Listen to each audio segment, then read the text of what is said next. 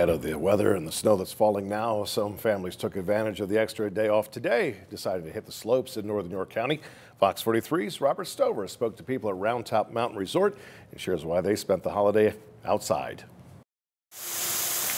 Low temperatures equal high levels of excitement for skiers and snowboarders at Roundtop Mountain Resort in Warrington Township. Just a good family day for everybody. The resort expected to fill ski lifts with families eager to enjoy the winter weather. Holidays in general do turn out to be good turnouts for us. You know, people get the days off, they plan their vacations, they come out here, they enjoy the day with us. Paul Mawini, a ski instructor for Roundtop, brought his son for a day of chills and thrills. A lot of us, with it being a national holiday, we have off work today, so it is it's a great day to spend time with the family because it's right in the middle of the season where you have some of the coldest temperatures and some of the best snow.